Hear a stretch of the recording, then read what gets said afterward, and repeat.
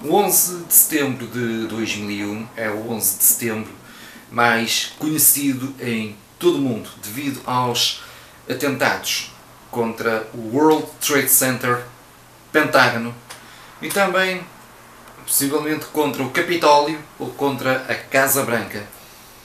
Mas também chegou a existir um 11 de setembro, mas do ano de 1985 e que teve lugar aqui em Portugal. Estava a decorrer um dia bem normal em Portugal. Ainda havia muitas linhas de comboio ativadas, mas nada fazia prever que a freguesia de Moimenta de Maceira Down viria a ter um evento terrível e que mudaria a história dos caminhos de ferro para sempre. Olá, sejam bem-vindos a mais um vídeo aqui neste meu canal.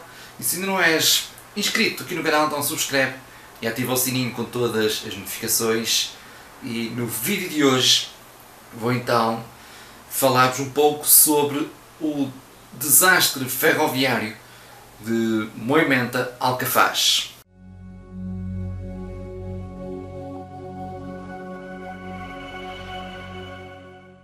A freguesia de Moimenta de Maceira Down é servida pela linha da Beira Alta. Hoje, essa linha está eletrificada e modernizada com os parâmetros de segurança bastante modernos e credíveis, mas também é a linha bastante utilizada não só pelos comboios regionais, mas também pelos comboios internacionais.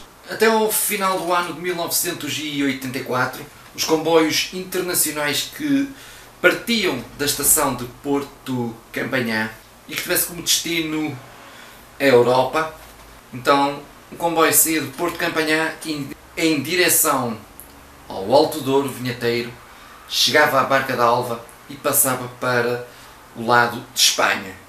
Mas a partir do dia 1 de janeiro de 1985, o governo espanhol fechou várias linhas férreas, incluindo a linha férrea que ligava La Fuente de San Esteban a La Fresneda e também a parte internacional de La Fresneda a Barca d'Alva. E passando então assim que os comboios internacionais que saíssem de Porto Campanhã tivessem como, como destino qualquer eh, cidade europeia tivesse que então entrar em Espanha através de Vila Formoso, na linha da Beira Alta.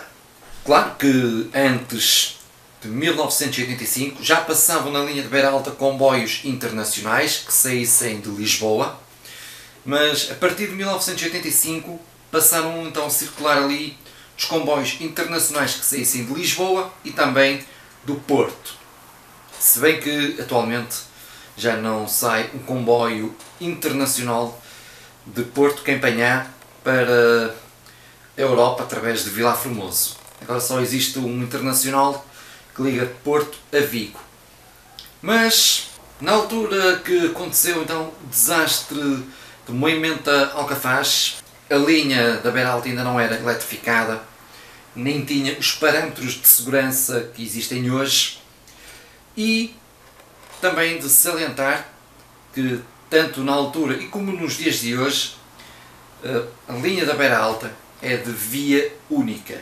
E a linha ao ser de linha de via única implica que o cruzamento de comboios tenha que se dar numa estação que tenha duas ou mais vias de circulação. E claro que nos dias de hoje, graças às tecnologias e aos melhoramentos de segurança que existem, Neste tipo de linhas que tenham só uma única via, então o cruzamento dos comboios já está pronto, sistematicamente programada. E claro que quando um comboio chega a uma estação e tem que esperar que o da estação seguinte chegue, o comboio que está ali à espera tem ali o sinal vermelho para ele, para não poder circular. Algo que em 1985 não, é, não existia. Ou seja, não existia nenhuma sinalização indicar que permitisse o comboio avançar ou continuar à espera. Mas o único maneira que existia na altura era por via telefone. Claro, que os maquinistas que iam ali nas locomotivas não tinham telefone lá dentro. Claro que hoje em dia, todos os maquini, qualquer maquinista tem pelo menos um telemóvel. Entretanto, naquela altura, o, havia uma coisinha que era o pedido de avanço de comboio. Pedido esse, que era feito ao posto de comando, mais próximo, ou então por aviso então, ao chefe da próxima estação. Então um comboio que estivesse uh, que chegasse a uma estação com duas ou mais vias para poder se cruzar com outro comboio e estivesse à espera de outro, então o chefe de estação ia ao seu gabinete, telefonava e, e perguntava se já tinha saído de lá algum comboio ou, ou então se podia mandar o que está, mandar o que está ali à espera e o outro ficava, esperava pelo cruzamento. E o que aconteceu então no dia 11 de setembro de 1985 é uma coisa que eu vou contar-vos agora. Então nesse dia, às 3 horas e 57 minutos da tarde, partiu da estação de Porto Campanhar o comboio internacional, com 17 minutos de atraso. Às 4 horas e 55 minutos da tarde, partiu da estação da Guarda o comboio regional com destino a Coimbra. Às 6 horas e 19 minutos da tarde, era a hora prevista da chegada do comboio internacional à estação de Nelas, mas esse comboio não chegou com muito atraso, porque conseguiu recuperar algum tempo desde que saiu do Porto. Às 6 horas e 23 minutos o comboio Serviço Regional chega, chegou à estação de Mangualde, eh, que deveria ter aguardado pela chegada do Internacional, mas o cruzamento foi alterado para a estação de Moimenta Alcafaz. Às 6 horas e 31 minutos, o comboio internacional deveria ter chegado à estação de Mangualde. Às 6 horas e 34 minutos, o comboio regional deveria ter chegado à estação de Moimenta Alcafaz. Se o cruzamento tivesse sido feito em Mangualde, cruzamento esse que seria com o Internacional e esse cruzamento foi então alterado para a estação de Nelas. Mas houve aqui uma, uma coisinha que provocou este desastre. Como o Internacional saiu com um grande atraso do Porto, então, e, então o, o, os chefes das estações, que o regional que saiu da Guarda, tinham informação de que o Internacional estava atrasado. Então pensavam que então então planearam em eh, transferir o cruzamento, só que não contavam com a recuperação de tempo do Internacional. Acontece que, na altura, as ordens que existiam de, em relação de prioridades era dar prioridade ao comboio, aos comboios internacionais.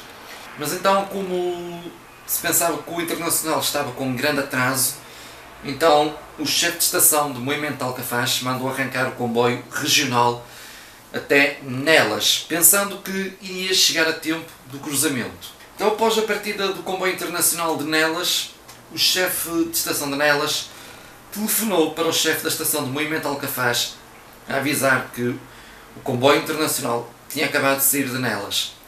Entretanto, o chefe da estação de Movimento Alcafaz avisou que o comboio regional já tinha partido dali, já tinha saído em direção a Nelas. E, minha gente, a partir daí estava, estava decidido o desfecho desta história. Se bem que um dos chefes de estação ainda tentou evitar a colisão dos comboios.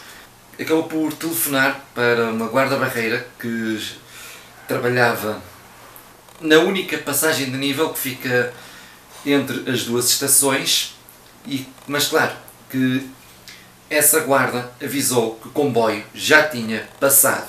Então, às 6 horas e 37 minutos, dá-se a colisão entre os dois comboios que circulavam a mais de 100 km por hora. O que passou pela cabeça daqueles maquinistas quando se viram frente a frente? No momento da colisão, circulava na estrada, ali na estrada uma ambulância e os socorristas da mesma deram o alerta. De, claro que no momento do embate deflagrou-se um enorme incêndio que propagou-se não só até ao mato que existia ali, mas também acabou por eh, se estender a algumas carruagens. As locomotivas ficaram destruídas, muitos passageiros conseguiram sair, ajudaram também outros passageiros que tinham algumas dificuldades, mas infelizmente ainda houveram passageiros que não tiveram essa sorte. Às 6 horas e 41 minutos da tarde era a suposta hora da chegada do comboio regional à estação de Nelas. Nas investigações ficou bem claro que este acidente deveu-se à falha humana devido à transferência de cruzamento entre o regional e o internacional ter sido constantemente mudado e também a falta do pedido de prosseguir as marchas antes de autorizar os maquinistas a avançar. Após esta, este desastre, foram instalados nessa linha sistemas de segurança muito mais avançados e recentemente a linha foi eletrificada. E vejam bem, minha gente, que antes deste desastre a linha não tinha as melhores condições de segurança. Foi preciso acontecer um desastre desta magnitude para que, que houvesse obras de intervenção para colocar a melhor segurança possível naquela linha. Espero que tenham gostado deste vídeo. Comentem sobre o que vocês acharam. Este vídeo é o segundo vídeo que está a sair hoje. É um vídeo que está a ser gravado no próprio dia.